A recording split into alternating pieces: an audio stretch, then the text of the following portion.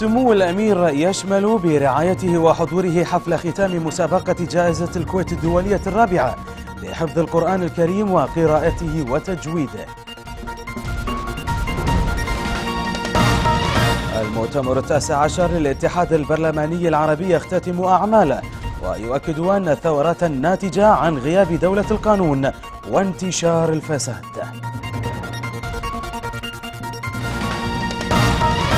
رئيس مجلس النواب البحريني خليفة الظهراني في حديث خاص لقناة الكوت الملك طرح مبادرة الحوار لتبادل الآراء بما يعود بالنفع على الجميع.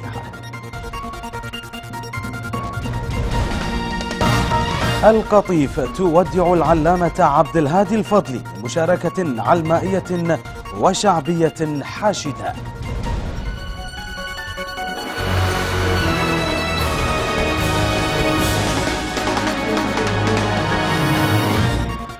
السلام عليكم ورحمة الله وبركاته. أهلا بكم في نشرة أخبار الكوت قوبل موقف متولي مسجد البحارنة بالتنازل عن الشكوى ضد المتهم بالاعتداء على المسجد قوبل بترحيب واسع من قبل الكثيرين الذين وصفوه بالموقف النبيل. مؤكدين على تعزيز الوحدة الوطنية التي لا تؤثر فيها الممارسات الصبيانية مثل الاعتداء على المسجد المذكور أو ما يتناوله بعض ضعاف النفوس في وسائل الإعلام وعبر الإنترنت والتي لا يزال الكثير منها بعيدا عن يد القانون بسبب عدم وجود النصوص الواضحة حيالها. وهو الأمر الذي دعا الحكومة لإعداد مشروع قانون الإعلام الموحد الذي أكد وزير الإعلام أنه سيشمل المواقع الإلكترونية إلى أنه شدد على أنه وفقا لهذا المشروع فلا عقوبة إعلامية إلا من خلال المحكمة. الثناء الحكومي على مشروع القانون قوبل بانتقادات واسعة حيث وصف بعض النواب المشروع الحكومي بالشيوعي فيما أكد آخرون أن الرقابة على المواقع الإلكترونية غير ممكنة في الوقت الحالي. التصريحات النيابية حيال مشروع قانون الإعلام الموحد تزامنت مع اختتام فعاليات حدث برلماني تشهده البلاد شمل نوابا من أنحاء العالم العربي حيث اختتم مؤتمر الاتحاد البرلماني العربي أعماله اليوم بإقرار جملة من التوصيات كما شهدت البلاد اليوم اختتام فعاليات أخرى حضرها ممثلون عن 58 دولة حيث تفضل سمو أمير البلاد صباح اليوم فشمل برعايته وحضور حفل ختام جائزة الكويت الدولية لحفظ القرآن الكريم وقراءته وتجويد تلاوته. في دورتها الرابعة وهي المسابقة التي شارك فيها أكثر من 100 متسابق وتبلغ القيمة الإجمالية لجوائزها أكثر من 114 ألف دينار. شمل سمو أمير البلاد الشيخ صباح الأحمد برعايته وحضوره حفل ختام جائزة الكويت الدولية لحفظ القرآن الكريم وقراءته وتجويد تلاوته في دورتها الرابعة على مسرح قصر بيان. وشهد الحفل تكريم كوكبة من شباب الأمة الإسلامية من المشاركين في المسابقة من مختلف دول العالم. وأشاد وزير الأوقاف والشؤون الإسلامية شريد المعوشرجي بالرعاية السامية للجائزة والتي توجت بنجاح الدورة الرابعة. شارك في الدورة الرابعة لهذه الجائزة قرابة المئة وسبعة متسابق جاءوا من 58 دولة إسلامية ومجتمعات مسلمة في أقطار غير إسلامية. فعاشوا بيننا أياما على مائدة القرآن إنه لم يكن لهذا النجاح أن يكتب ولا لهذه الجهود أن تتحقق إلا بعد توفيق الله تعالى. ثم بدعمكم الكبير ورعايتكم السامية وبجهود وسواعد وعقول أبناء الكويت البررة. ويعود اهتمام الكويت بتحفيظ القرآن الكريم وإقامة المسابقات والدورات في هذا الجانب إلى سنوات طويلة. تميزت خلالها بالعمل على نشر كتاب الله داخل الكويت وخارجها. يأتي هذا الاهتمام المتميز بالقرآن وأهله لما تميزت به دولة الكويت منذ القديم بحفظ القرآن الكريم والعناية بتحفيظه.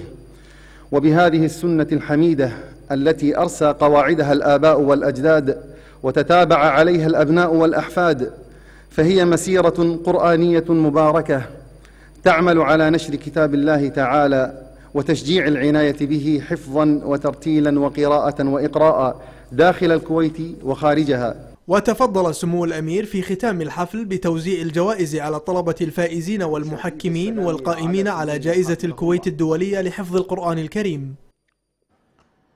اختتم المؤتمر التاسع عشر الاتحاد البرلماني العربي أعماله اليوم بإقرار عدة توصيات يعمل عليها المؤتمر لمدة عامين.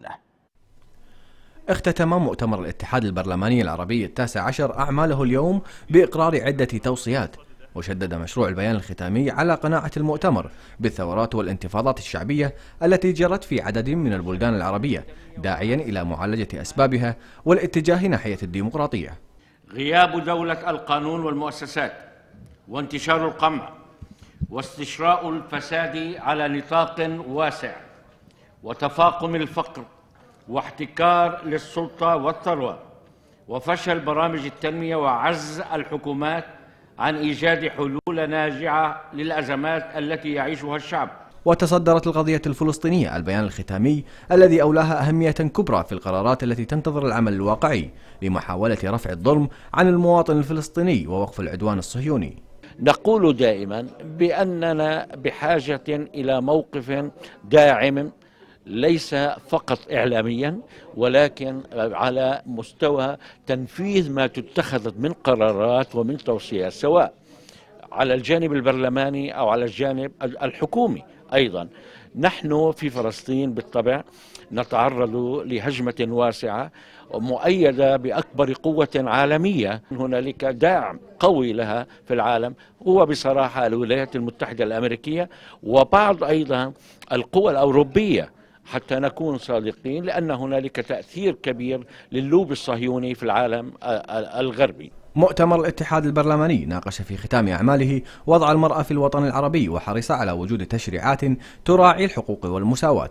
هناك مناقشة مستمرة إلى الآن على الحقوق الاجتماعية والمدنية في الدول العربية. نحاول أن نمكن المرأة أكثر في العمل السياسي والعمل الاجتماعي وفي مشاركة حقيقية في التنمية في بلدانهم. كما حرص المؤتمر بتوصياته على حقن الدم السوري من خلال وسائل عدة ليس بالضرورة أن تكون عسكرية. هو لا شك بأن دعوة المجتمع الدولي آه، هو الحقيقة دعوة إلى التدخل لوقف النزيف الدم وليس وقف للشحن وتغذية الصراع الموجود. فرق بين تدخل يريد إنهاء الأزمة في سوريا وتدخل يريد آه، شحن الحقيقة وافتعال أزمة آه، في سوريا. فنحن دعونا إلى هذا النوع من التدخل وهو وقف الحقيقة نزيف الدم في سوريا. ويعني محاولة إنقاذ الشعب السوري. لأن لا شك بأن المجتمع الدولي يمتلك إمكانيات قد تفوق حتى الإمكانيات التي تمتلكها الدول العربية. وهناك أساليب عديدة. ليس بالضرورة أن تكون عسكرية قد تكون اقتصادية قد تكون سياسية. وطالب المؤتمر في ختام نقاش التوصيات توضيح تعريف محدد للإرهاب مع حفظ كامل الحق للشعوب في مواجهة إرهاب الدولة أو المحتل من خلال اتفاق دولي شامل حول المفهوم. القضية الفلسطينية والسورية جاءت على رأس ختام توصيات مؤتمر الاتحاد البرلماني العربي التاسع عشر حيث ندد المؤتمر بالكيان الصهيوني الغاصب في فلسطين والجولان وتدخلاته في السودان ورفض واستنكر أي شكل من أشكال التدخل الأجنبي في الشؤون الداخلية لسوريا. سعدون محمد قناة الكوت.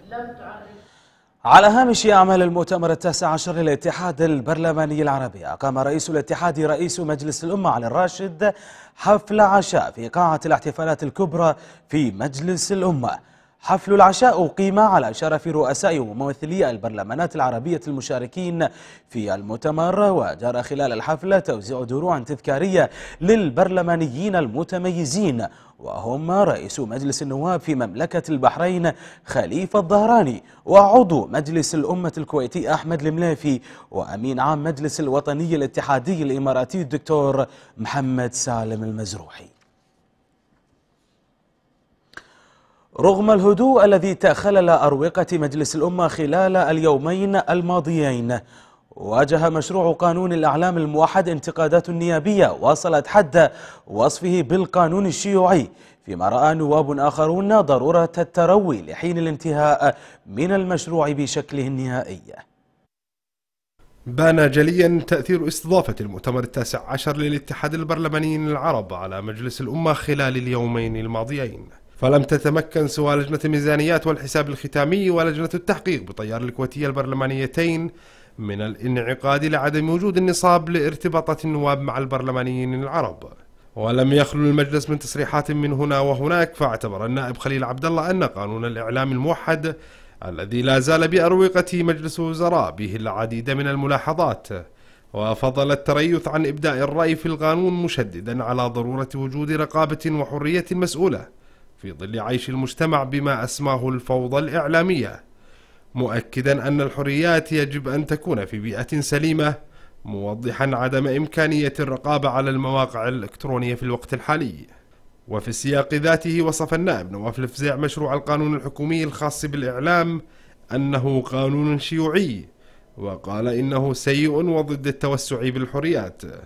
كما تقدم الفزاع ونواب آخرون بتعديلات على قانون صندوق المعسرين تضمنت استعادة المقترضين للفوائد الأكثر من نسبة الخصم الأربعة بالمئة إضافة إلى السماح بالاقتراض للمعسرين وإمكانية لجوء من دخلوا بالصندوق إلى القضاء وهو ما يمنعه القانون الحالي.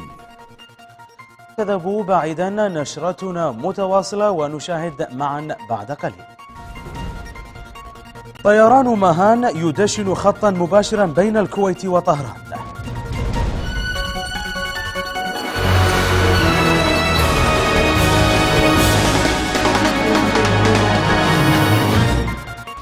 أكد وزير الإعلام ووزير الدولة لشؤون الشباب الشيخ سلمان الحمودي إلى أن مشروع قانون الإعلام الموحد يأتي نتيجة جهود لفترة طويلة لفريق من القانونيين والعاملين في وزارة الإعلام ومشاركة جميع مؤسسات الدولة واستطلاع رأي المجتمع المدني خاصة فيما يتعلق بالإعلام الإلكتروني لما يحتويه من إعلام جديد ومهم والعالم كله الآن بصدد تطبيقه. نفى وزير الإعلام ووزير الدولة لشؤون الشباب الشيخ سلمان الحمود أن يكون الهدف من مشروع قانون الإعلام الموحد هو تغليص الحريات أو تكميم الأفواه في الكويت مؤكدا أن مشروع القانون به مادة أساسية تؤكد أنه لا عقوبة إلا من خلال المحكمة فلا توجد عقوبات إعلامية من خلال قرارات إدارية. هناك مبادئ أساسية تناولها القانون أو مشروع القانون أن لا عقوبة إلا من خلال المحكمة. لا, لا توجد عقوبات إعلامية من خلال قرارات إدارية. أيضا شمل هذا القانون أيضا مراعاة قضية المحافظة على العلاقات مع الدول الشقيقة والصديقة بحيث أن نحافظ على على علاقاتنا الدولية. والكويت دائما يعني عرفت في علاقتها المتميزة وصداقاتها مع العالم. وعن معرض الكتاب والجهود التي تبذلها جمعية الإصلاح في تنظيمه سنويا.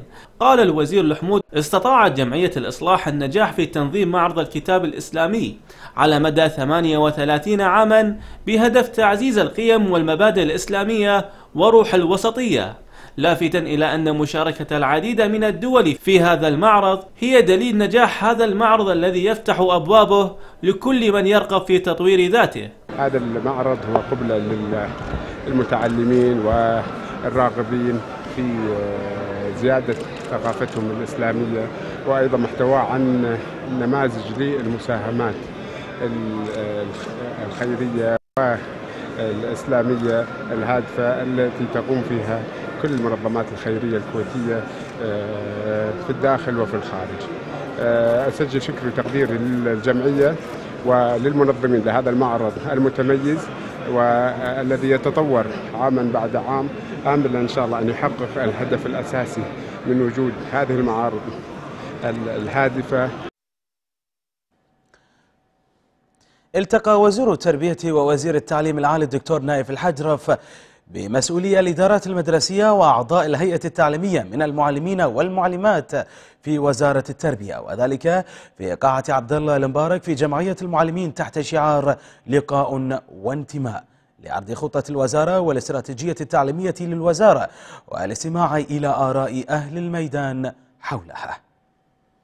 أعلن وزير التربية ووزير التعليم العالي الدكتور نايف الحجرف إن هناك العديد من التحديات التي تواجه النظام التعليمي. أهمها التحديات الاقتصادية وتتمثل في الموارد المالية المخصصة للتعليم. وبين الحجرف في اللقاء المفتوح الذي أقيم في جمعية المعلمين إن ميزانية التربية بلغت 2 مليار دينار. وما تخشاه الوزارة ألا توظف هذه الأموال في مسارها الصحيح لتنمية التعليم وتطويره. مؤكدا أن هناك خطط تطويرية ستطبق على النظام التعليمي في البلاد. خلال خمس سنوات إن شاء الله راح يكون لدينا مناهج مبنية على الكفايات. هذا مهم. راح يكون لدينا معايير وطنية للتعليم لأول مرة بتاريخ الكويت. راح يكون لدينا رخصة المعلم. الفرق الآن تعمل في هذا في هذا الاتجاه. راح يكون لدينا هيكل إداري للمدارس جديد راح يكون لدينا بيئة مدرسية متكاملة وأيضا راح يكون لدينا آليات قياس وتقويم مستمرة لكي نعرف أي انحرافات ونصحح أي خلل متى ما تمكنا من ذلك. سمحت أكمل الفكرة. أنا أنا اللي قاعدين ندور وراء أنا اللي أتكلم. فاجئ ان الوزاره بعد إرسال كتب الت- التفنيش تطلب نفس تخصصاتنا بدون خبرة. السامي معالي في الوزير وقت. معالي الوزير إحنا ظلمنا. ونطلب منك رفع الظلم. معالي الوزير إحنا لو نطالب بزيادة في مرتباتنا إحنا طالبنا بحقوقنا اللي موجودة في العقود. تفاجئ بالتفنيش.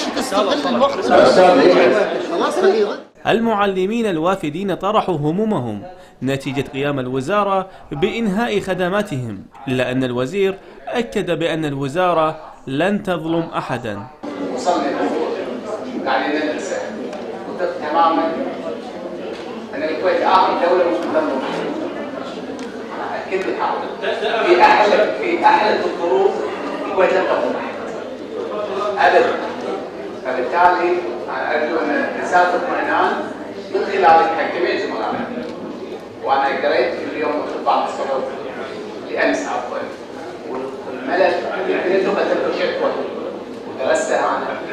وأيضا الإخوان في ال- ساعة السفير المصري امس كان عندي وثار الموضوع. فبالتالي أنا اكد لك ان الكويت اخر بلد ممكن يظلم اي انسان كل انسان ممكن في الكويت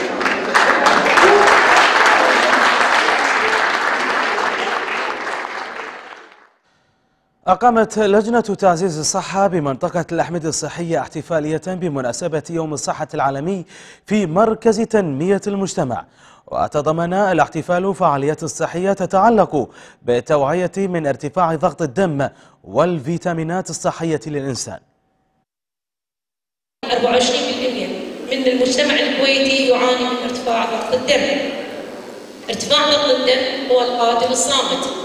لماذا يسمى بالقاتل الصامت؟ لأنه مرض لا يفصح عن نفسه حتى مراحل متقدمة، وكلما زاد الارتفاع في ضغط الدم على مدار السنوات دون علاج، كلما زاد التلف بأعضاء الجسم واقترب المصاب من مخاطر تهدد حياته، مثل السكتات الدماغية، النوبات القلبية والفشل الكلوي وغيره، فيجب علينا أولا أن نحرص على الفحص الطبي الدوري المنتظم. كما يجب علينا الامتناع عن التدخين ونتعلم فن الاسترخاء والبعد عن الانفعالات والضغط النفسي. يجب علينا أيضا أن نخفض من الوزن الزائد وممارسة الرياضة بانتظام. انطلقت اليوم من مطار الكويت الدولي أولى رحلات شركة مهان الجوية الإيرانية بواقع رحلتين في الأسبوع من الكويت إلى العاصمة طهران. الخط الجديد لاقى ترحيبا كبيرا من المسؤولين في البلدين. وسط أجواء احتفالية يكسوها الترحيب المتبادل شهد مطار الكويت الدولي أولى رحلات شركة طيران مهان الجوية الإيرانية إلى طهران حفل تدشين الخط الجديد حضره عدد من المسؤولين في البلدين. فمن جانبه قال سفير إيران في الكويت روح الله قهرماني أن العلاقات الكويتية الإيرانية علاقات تاريخية على المستويين السياسي والشعبي مشيرا إلى أن مثل هذه الرحلات من شأنها أن تعزز العلاقات بين طهران والكويت. روابط ایران و کویت روابط دیرینه ای هست. العلاقات بين إيران والكويت علاقات تاريخية هناك تعامل شعبي واضح. أتصور نحن يجب أن ندعم هذه العلاقات بقوة والطيران بين رحلات الطيران بين الكويت ومختلف المدن الإيرانية والعاصمة طهران هي تعزز هذه العلاقات. نحن نجب ندعم عن هذا الأمر. هناك ثماني رحلات إلى آه، إلى إلى طهران بين طهران وبين آه، الكويت. أتصور هذه الرحلات هي آه، مفيدة ونحن ندعم. من جهة أخرى بارك عضو مجلس الأمة هاني شمس افتتاح خط الطيران الجديد بين الكويت وإيران مؤكدا أن رفع عدد الرحلات بين البلدين الجارين يشير إلى تميز العلاقات بين الكويت وإيران سواء كانت هذه الرحلات للعلاج أو للسياحة أو للزيارة. حقيقة يعني هذه الرحلات وهذه زيادة الرحلات فيما بين البلدين آه، الصديقين الجارين بين الكويت والجمهورية الإسلامية الإيرانية. بالعكس هذه آه، تقوي العلاقات وبالعكس إحنا علاقاتنا في جيراننا كالكويت العلاقات الخارجية من العلاقات المتميزة. ودائما نطمح إلى هذه العلاقات وخصوصا أن الكثير من الكويتيين يرغبون الذهاب إلى هذه المناطق إن كان للزيارة الزيارات الدينية أو للسياحة أو للعلاج. نشرتنا مستمرة ونشاهد معا بعد قليل. أنا حررتكم فلا يستعبدكم أحدا بعدي.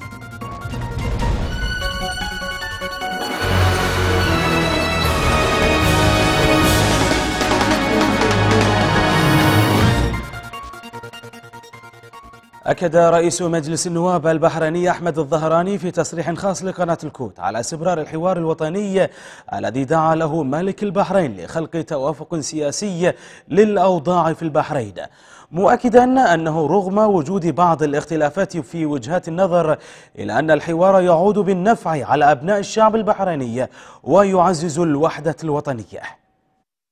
ولا شك أن الحوار الذي دعا له جلالة الملك هو طرح آه، آه، هذا الموضوع لتحريك الأمور والجلوس على طاولة لتبادل الإراء الآراء فيما يعود بالنفع على على الجميع. آه هذا هو الحين تقريبا تسعة آه اجتماعات آه عقدت في هذا الموضوع بين الحين والآخر آه تشوب بعض الخلافات وبعض الرؤى في وجهات النظر ولكن آه إحنا على ثقة أن دائما البدايات في كل المشاريع تأتي أحيانا بطيئة وتتأخر بعض الشيء ولكن الهدف أن والذي نأمله أن إن شاء الله يعني تتحقق الأهداف المرجوة من وراء هذا الحوار. ويعي البعض أهمية المحافظة على الوحدة الوطنية وعلى الاستقرار وأن الشعوب والأوطان لا تتقدم ولا تحقق إلى شعوبها الخير إلا بالوحدة الوطنية وبالاستقرار. الاستقرار هو الطريق الصحيح لتأخذ الحياة مجراها الطبيعي ويستفيد الكل من وراء هذا الاستقرار. لا نعلم حقيقة الأمر فيما يدور ولكن المتحاورين لا شك الكل يحاول من جهته أن يضع أجندات معينة ورؤى معينة وفي النهاية لابد من الوصول إلى ما يحقق الأهداف المرجوة من وراء هذا الحوار. قبل أيام من تنظيم البحرين لسباق الفورمولا واحد أعلنت المعارضة اعتزامها تنظيم فعالية سياسية وتظاهرات سلمية. في غضون ذلك نددت منظمة هيومن رايتس ووتش باعتقال عدد من النشطاء وهو ما نفته المنامة. بينما تستعد البحرين لسباق الفورمولا واحد أعلنت المعارضة البحرينية عن تنظيم سلسلة من التظاهرات والفعاليات تحت شعار الديمقراطية حقنا. تنطلق الجمعة المقبل. وذكرت جمعية الوفاق الوطني أن التظاهرات تشتمل عددا من الأنشطة السياسية والإعلامية والحقوقية بالتزامن مع تجمعات شعبية سلمية بمختلف مناطق البحرين للمطالبة بالتحول الديمقراطي وبناء دولة المواطنة والمساواة على أساس مبدأ الشعب مصدر السلطات والقرار. في غضون ذلك نددت منظمة هيومن رايتس ووتش بموجة الاعتقالات التي طالت عددا من ناشطي المعارضة مع اقتراب سباق الفورمولا واحد الذي تستضيفه المملكة في التاسع عشر من أبريل الجاري على حلبة الصخير جنوب المنامة. ونقلت هيومن رايتس ووتش عن مصادر محلية قولها أن رجال شرطة ملثمين يرتدون ملابس مدنية قاموا بنحو 30 مداهمة منذ مطلع أبريل واستهدفوا نشطاء يقيمون قرب مضمار سباق الفورمولا واحد. واعتبرت هيومن رايتس ووتش في بيانها أن هذه الحملة الأمنية والطريقة التي نفذت بها تثير تساؤلات جديدة عن التزام السلطات البحرينية بالإصلاح مشيرة إلى أن هذه المداهمات والاعتقالات تشير إلى أن السلطات تبدو معنية أكثر بإبعاد النشطاء عن مضمار السباق من التعامل مع المظالم المشروعة التي دفعت الكثير من البحرينيين للاحتجاج. وأوضحت المنظمة أن غالبية المعتقلين متهمون بالمشاركة في تجمعات غير قانونية. يأتي ذلك فيما نفت الحكومة البحرينية. هذه الاعتقالات وأكدت وزيرة الإعلام البحرينية سميرة رجب عدم وقوع أي اعتقالات مضيفة أن أي عمل يمس الأمن والسلم يجب أن يواجه بالقانون. شيعت منطقة القطيف في المملكة العربية السعودية العلامة آية الله الدكتور الشيخ عبد الهادي الفضلي. وشارك في التشييع الآلاف من محبي العلامة الشيخ الذي توفي عن عمر ناهز 78 عاما بعد صراع طويل ومرير مع المرض. شيعت منطقة القطيف في المملكة العربية السعودية العلامة آية الله الدكتور الشيخ عبد الهادي الفضلي الوكيل الشرعي للإمام السيد علي الخامنائي الذي توفي عن عمر ناهز 78 عاما بعد صراع طويل ومرير مع المرض. موكب التشييع شارك فيه الآلاف من محبي العلامة الشيخ حيث انطلقوا من أمام حوزة السيدة خديجة عليها السلام في سيهات يجوب شوارع المدينة الواقعة في محافظة القطيف شرقي السعودية وسط أجواء من الحزن وحضور علمائي وشعبي لافت. وقد أكدت كلمات عدد من العلماء المشاركين في التشييع على دور الراحل الكبير في التغريب بين المذاهب الإسلامية والعمل لأجل وحدة الأمة الإسلامية. هذا وقد تقدم موكب التشييع الذي استمر قرابة الثلاث ساعات العديد من أبرز العلماء الذين طالما عرفوا الراحل استاذا ومربيا اشتغل بالعلم والتأليف على مدى عقود طويلة من حياته.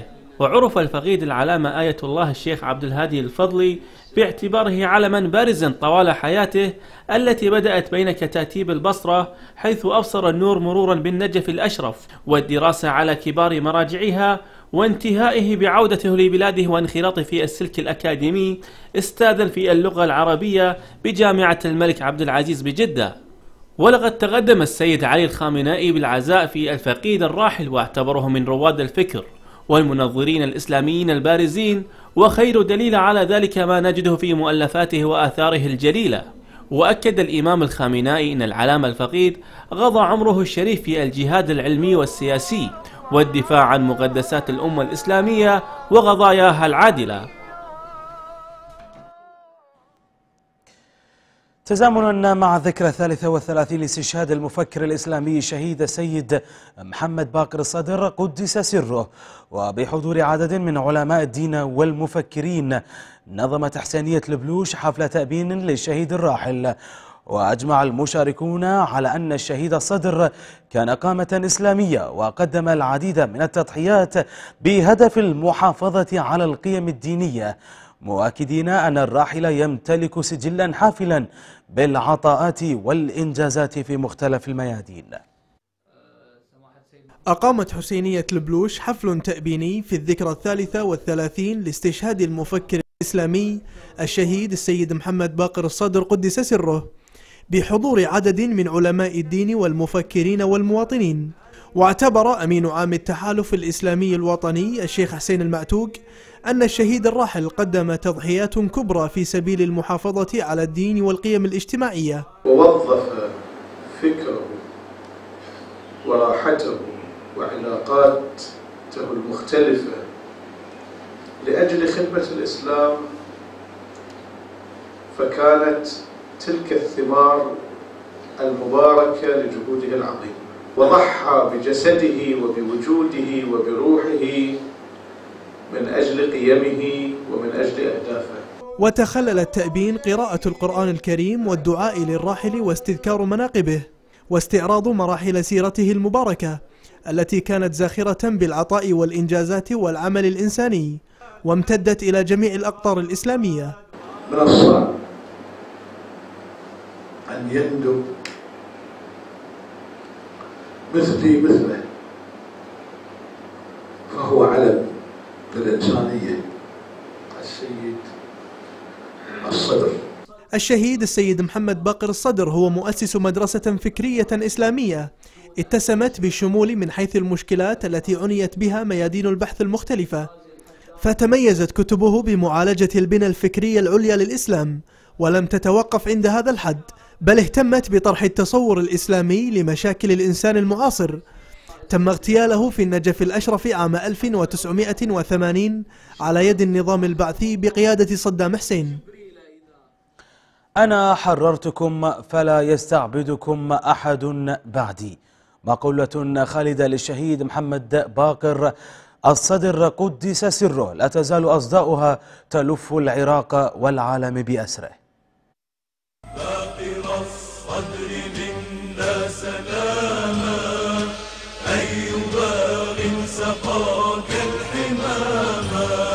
يوم ليس كباقي الأيام جمع الفخر والحزن واستحضار واستذكار العبرة والعبرة. ذلك هو يوم استشهاد المفكر الإسلامي الكبير محمد باقر الصدر قدس ثراه في التاسع من نيسان والذي هو يوم سقوط نظام الظلم والاستبداد المتمثل بنظام حكم صدام.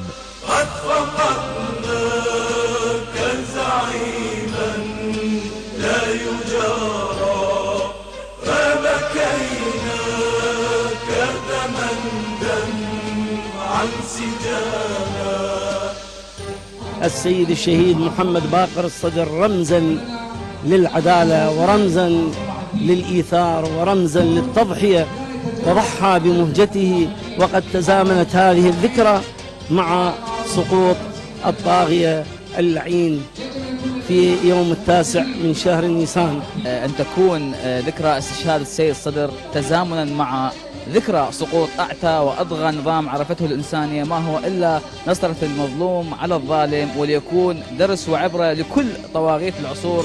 شهيدا قام فردا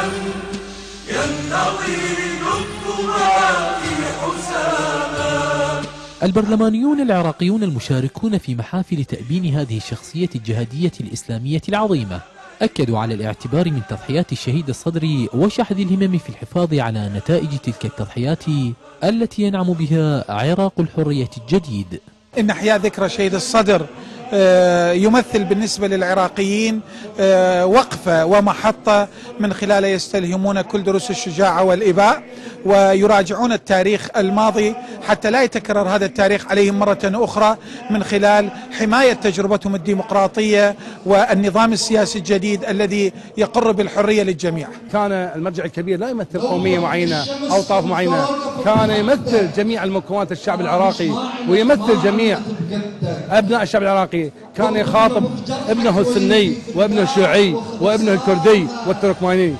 أطاريح السيد الشهيد الصدر الإسلامية والعلمية والاقتصادية والاجتماعية التي أغنت وأثرت المكتبة العالمية قبل العربية.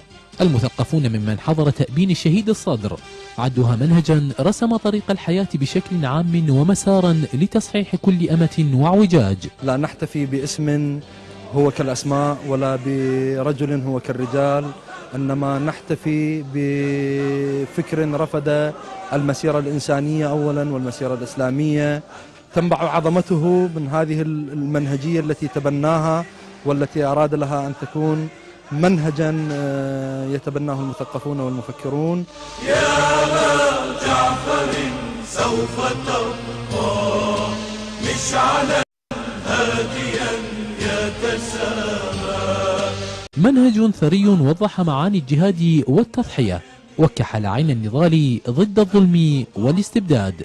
أنا حررتكم فلا يستعبدكم أحد بعدي رسالة وجهت من الشهيد محمد باقر الصدر قدس سره إلى كل الأحرار والشرفاء والثوار في العالم لينصروا المظلوم ويقفوا بوجه الطاغوت على مر العصور. من العراق لقناة الكوت الفضائية جميل الرماحي. اختتم رئيس الحكومة اللبنانية المكلف تمام سلامة استشاراته النيابية لتأليف الحكومة واستمع إلى مطالب القوى السياسية في شكل الحكومة التي حدد أهدافها بإجراء الانتخابات النيابية العامة. وسيقوم سلام خلال الأيام المقبلة لتدوير الزوايا والتوفيق بين مطالب الأفرقاء كافة قبل إعلان الحكومة. أتت مجريات اليوم الأول من استشارات الرئيس المكلف تشكيل الحكومة تمام سلام مع الكتل النيابية لتكون كفيلة بإظهار مدى صعوبة المهمة التي تنتظر سلام. وأكدت له أن الإجماع الذي رافق التكليف هو مولود لم تكتب له الحياة إلا ليوم واحد وأن لا توافق فيما يتعلق بتوزيع الحصص والحقائب. سلام الذي أعلن تمسكه بالمصلحة الوطنية بعد إنهائه استشاراته النيابية غير الملزمة. أشار أنه سيحرص في التأليف على الحفاظ على إجماع التكليف مؤكدا أن غالبية النواب هي مع تسهيل مهمة رئيس الحكومة المكلف وتشكيل الحكومة. مهمة جليلة ووطنية فيما يتعلق بدور كبير للحكومة المرتجاة على ما نحن مقبلون عليه من استحقاق دستوري ديمقراطي ألا وهو الانتخابات العامة. في المقابل الكتل السياسية كانت صريحة بما ترتجيه وأعلنت عما تنتظره من حكومة قد يطول الوقت قبل أن تتألف فموقف قوى الرابع عشر من أذار لم يتغير. والدعوة كالسابق حكومة حيادية من التكنوقراط أو غير المرشحين. تكون مهمتها تنظيم الانتخابات ولا تحظى المقاومة بأي سطر من بيانها الوزاري. بينما تمثلت مطالب قوى الثامن من أذار بالدعوة إلى حكومة سياسية من طراز الوحدة الوطنية. تعالج كل القضايا والأزمات ومن بينها الانتخابات على أن تكون معادلة الجيش والشعب والمقاومة إحدى ثوابتها. من المتوقع أن يواجه رئيس الحكومة المكلف إحدى الاحتمالين. سلام يلقيه مودعا في حال تعذر عليه إتمام المهمة أو تمام للتأليف قد يطول لأشهر عدة كما الحكومات السابقة. جنان شحادة قناة الكوت بيروت. يوما بعد يوم يجبر الصراع المتواصل في سوريا منذ أكثر من عامين آلاف الأسر السورية على مغادرة قراهم وبيوتهم هربا من القصف والدمار. ويتجه عدد كبير من هؤلاء اللاجئين إلى مخيم الزعتري في الأردن المجاورة. واليوم قام مسؤولون أردنيون بتدشين معسكر ثان للاجئين بتبرع من دولة الإمارات العربية المتحدة. افتتح الأردن الثاني مخيم للاجئين السوريين على أراضيه في منطقة مريج بالفهود على بعد نحو 85 كيلومتر شمال شرق العاصمة الأردنية عمان بينما يستمر تدفق اللاجئين هربا من أحداث العنف في الجارة شمالية سوريا. وقال رئيس وحدة الإغاثة الإماراتية ماجد بن سليمان أن المخيم الجديد بدأ باستقبال اللاجئين اعتبارا من اليوم حيث نقلت إليه دفعة أولى مؤلفة من 106 لاجئين كانوا قد دخلوا الأراضي الأردنية مساء أمس مع 1306 لاجئين سوريين آخرين. وأوضح سليمان أن المخيم الجديد الذي بني بتمويل من دولة الإمارات يقع على أرض تبلغ مساحتها 250 دونما ويستوعب 5500 شخص ويضم 750 كرفانا أو ما يعرف بالعربة المتنقلة ومدرسة نموذجية ومستشفى تخصصي. مشيرا إلى أن هناك وعود بتوسيع المخيم في حال استمرار تدفق اللاجئين كي يتسع لثلاثين ألف شخص أو أكثر لأن الأرض المخصصة لإقامة المخيم تبلغ مساحتها الكلية ثلاثة عشر ألف دونم. يسع هذا المخيم من 5000 إلى 6000 لاجئ سوري كمرحلة أولى. إن شاء الله في عدة مراحل نوصل إلى 25 ألف لاجئ. فاليوم نحن أول دفعة نستقبلها من اللاجئين وإن شاء الله على مدار الأيام هاي نستقبل لنوصل العدد المطلوب. المخيم هذا أنشأ بدعم من دولة الإمارات. وبحسب إحصائيات الحكومة الأردنية فإن عدد اللاجئين السوريين في مخيم الزعتري الذي يقع في محافظة المفرق شمال المملكة على مقربة من الحدود السورية تجاوز المئة وخمسين ألف شخص. في حين يزيد عدد اللاجئين السوريين في المملكة منذ اندلاع الأزمة في بلادهم عن 482 ألف شخص. وتفيد تقديرات جديدة للأمم المتحدة أن عدد اللاجئين السوريين في الأردن يمكن أن يصل إلى مليون ومئتي مليون لاجئ بحلول نهاية العام الحالي. وفي هذا السياق أكد وزير الخارجية البريطاني ويليام هيغ على ضرورة التوصل إلى حل سياسي ودبلوماسي ينهي الأزمة السورية واصفا الوضع في سوريا بأكبر كارثة إنسانية في القرن الحادي والعشرين. وعشية اجتماع وزراء خارجية مجموعة الثماني في لندن اليوم دعا هيغ إلى تحرك دولي فاعل لمعالجة الأزمة السورية مؤكدا أن بلاده وفرنسا متفقتان على ضرورة التحرك لإنهاء العنف في سوريا رغم قلة الخيارات المتاحة. وأضاف هيغ أن زعماء في المعارضة منهم غسان هيتو وجورج صبرا سيحضرون الاجتماعات التي ستعقد قبل الاجتماع الرسمي لوزراء خارجية مجموعة الثماني. بايعت جبهة النصرة التي تحارب الحكومة السورية زعيم تنظيم القاعدة أيمن الظواهري مؤكدة ولأهلا في تسجيل بث على الإنترنت اليوم. وتنصلت الجبهة في الوقت نفسه من إعلان الفرع العراقي لتنظيم القاعدة أنها امتداد له وجزء منها أن قيادات الجبهة ومجلس شورتها والعبد الفقير المسؤول العام لجبهة النصرة لم يكونوا على علم بهذا الإعلان سوى ما سمعوه من وسائل الإعلام. فإن كان الخطاب المنسوب حقيقة فإننا لم نستشر ولم نستأمر. وأقول هذه بيعة من أبناء جبهة النصرة ومسؤولهم العام. نجددها لشيخ الجهاد الشيخ أيمن الظواهر حفظه الله. فإننا نبايع على السمع والطاعة في المنشط والمكره والهجرة والجهاد وألا ننازع الأمر أهله إلا أن نرى كفرا بواحا لنا فيه من الله برهان. لأول مرة منذ الخلاف الشهير بين البابا شنودة والرئيس المصري الراحل أنور السادات تشهد العلاقة بين مؤسسة الرئاسة والكنيسة الأرثوذكسية توترا شديدا بدا واضحا في الانتقادات التي وجهها البابا علنا للرئيس مرسي ولأداء مؤسسة الرئاسة وتعاملها مع ملف المسيحيين في مصر. أيضا ألغى البابا عظته الأسبوعية وأعلن اعتكافه في الدير ما يحمل دلالات هامة بشأن القطيعة التي باتت تحكم العلاقة بين الرئاسة والمقر البابوي ما زالت الهزات الارتدائية لحوادث العنف الطائفي بين المسلمين والمسيحيين في قرية الخصوص وأمام كاتدرائية العباسية خلال الأيام القليلة الماضية تضرب مؤسسة الرئاسة المصرية التي فشلت في احتواء تداعياتها حتى الآن. آخر هذه الهزات هو البيان شديد اللهجة الذي عبر فيه المجلس الملي العام الذي يدير شؤون الأقباط في مصر عن قلقه من استمرار ما قال عنه الشحن الطائفي الممنهج ضد المسيحيين والذي تصاعدت وتيرته وحدته خلال الأشهر الماضية. واتهم البيان الدولة وكل مؤسساتها بالتراخي عن القيام بدورهم تجاه تطبيق القانون على الجميع بدون تفرقة وتقاعس القيادة السياسية للبلاد عن تقديم الجناة المعروفين في أحداث سابقة للعدالة أو اتخاذ أي موقف حاسم حقيقي نحو إنهاء الشحن والعنف الطائفي الآخذ في التصاعد بدون رادع.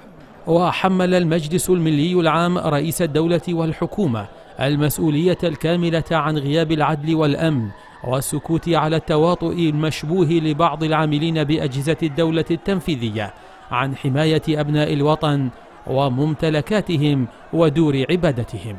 في غضون ذلك ذكر بيان صادر عن البابا توادروس الثاني بابا الإسكندرية وبطريرك الكرازة المرقسية أنه نظرا للأحداث المؤسفة والمؤلمة وحدادا على أرواح شهداء الخصوص والكاتدرائية قرر البابا توادروس الثاني الاعتكاف بعد الأحداث الأخيرة وإلغاء عطلة الأربعاء وتأجيل استقبال العزاء والتي كان المقرر لها غدا الخميس. إلى ذلك وتحت وطأة الغضب الشعبي نأت رئاسة الجمهورية بنفسها عن البيان الذي أصدره مساعد الرئيس لشؤون الخارجية الدكتور عصام الحداد واعتبرت أنه لا يعبر عن الرئاسة مطلقا. وكان بيان لمساعد الرئيس المصري قد أشار إلى أنه أثناء تشييع الجنازة قام بعض المشيعين الغاضبين بالاعتداء على السيارات المارة في شارع رمسيس ما أدى إلى قيام البعض بجوار كاتدرائية العباسية بإلقاء الطوب وإطلاق النار مما أدى إلى مزيد من التبعيد وتبادل إطلاق النار. وأضاف البيان أن كاميرات المراقبة أثبتت أيضا وجود أشخاص يحملون أسلحة ومولوتوف على سطح الكاتدرائية وأيضا خارجها وداخلها مما دعا الشرطة إلى التدخل لتفريق المتجمهرين باستخدام قنابل الغاز. واصلنا معكم لنهاية النشرة وقبل الختام إليكم تذكير بأهم العناوين. سمو الأمير يشمل برعايته وحضوره حفل ختام مسابقة جائزة الكويت الدولية الرابعة لحفظ القرآن الكريم وقراءته وتجويده. المؤتمر التاسع عشر للاتحاد البرلماني العربي يختتم أعماله ويؤكد أن الثورة الناتجة عن غياب دولة القانون وانتشار الفساد. رئيس مجلس النواب البحريني خليفة الظهراني في حديث خاص لقناة الكوت. الملك طرح مبادرة الحوار لتبادل الآراء بما يعود بالنفع على الجميع. القطيف تودع العلامة عبد الهادي الفضلي بمشاركة علمائية وشعبية حاشدة. ولمزيد من الأخبار تابعونا على تويتر الكوت نيوز. وللتواصل معنا يمكنكم مراسلتنا عبر البريد الإلكتروني وعبر الفيسبوك. نشكركم على حسن المتابعة. في أمان الله.